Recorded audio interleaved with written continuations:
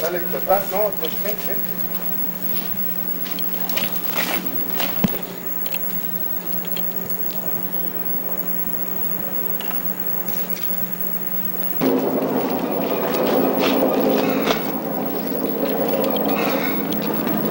helicóptero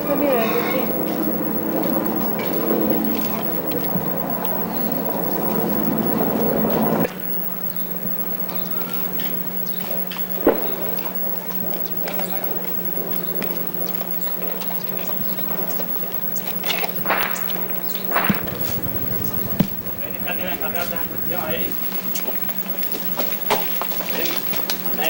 Todos los futuros. Todos los futuros. Todos los futuros. ¿Ya? Puta, estoy muy buena. Muy bien. Qué maldito tiene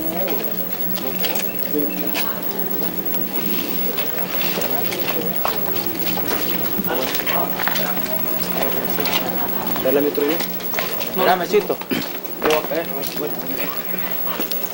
He volado. ¿Quieres enojar? Listo.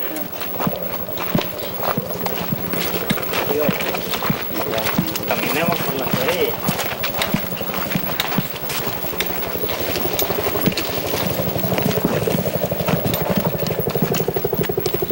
Han querido, han querido romper nuestra línea de juego y no han podido.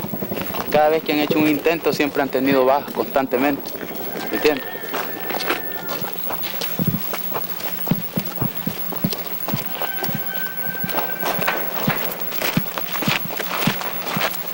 Eso no sirve, hermano. Y el gran trabajo. Mira, ahorita llevamos ocho días de combate. Ocho, vamos. ¿Y cómo te sentís después de ocho días de combate? Mira, mi hermano, yo cada día me siento con la moral en alto. ¿Eh? Con la moral en alto estamos aquí todo el mundo. Dispuestos a cualquier sacrificio con tal de liberar nuestro pueblo.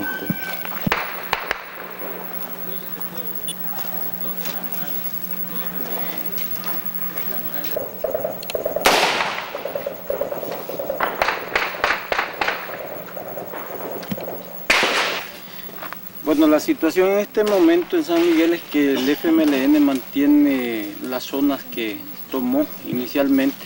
Han habido combates muy fuertes. En ese sentido, pues nuestra situación es bastante buena. Hemos tenido bastante incorporación y apoyo del pueblo. Nuestras fuerzas han crecido. Y pues podría decir que estamos muy confiados que a pesar de la enorme cuota de sangre, la- los hechos, la forma en que nos está enfrentando el ejército nos reafirma la total justeza de, y legitimidad de nuestra lucha por la democracia, de la lucha por eh, cambios radicales en cuanto a, a la necesidad de la justicia social y la democracia política en nuestro país. ¿Cómo se llama aquí? Colonia Esmeralda de San Miguel. ¿Y cómo ha estado la situación? Bueno, la situación ha estado rígida, bastante para ambos bandos. ¿Quién tiene control ahorita de la- Eh, bueno, está entre los dos. entre los dos? Sí. ¿Y ustedes qué hacen? Bueno, eh, solo cubrirlos de las bombas y los, los enfrentamientos. ¿Han, han peleado mucho? Bastante, sí. ¿Desde hace cuánto? Ya tenemos ya ocho días. Ocho días de estar en combate. ¿Y por qué no se ha ido usted? Bueno, el amor al hogar y, y el amor también a perder todo lo que uno tiene. ¿No le da miedo quedarse? Bueno, miedo sí, pero como no hay refugio donde quedarse, ni ha venido gente a evacuarlo a uno para llevárselo. Así que entonces uno tiene que permanecer acá en su hogar. Está con un niño pequeño, ¿Cuántos son ustedes? somos tres. Mi esposa que está en estado y, y yo que esté tierno y yo sí. ¡Papá! ¡Papá! Sí, hijos. ¡Ey,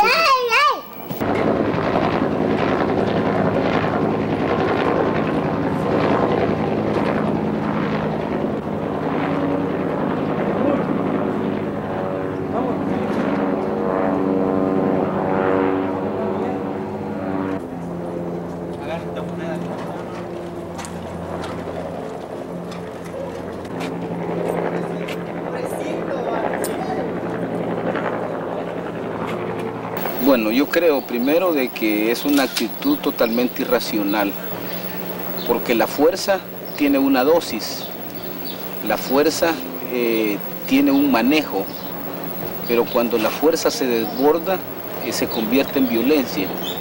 Y lo que se está realizando acá es una violencia totalmente irracional, es, es algo dantesco definitivamente cómo se maneja eh, la destrucción y la muerte. Definitivamente de que los costos van a ser demasiado altos, que objetivos no van a lograr en ningún momento.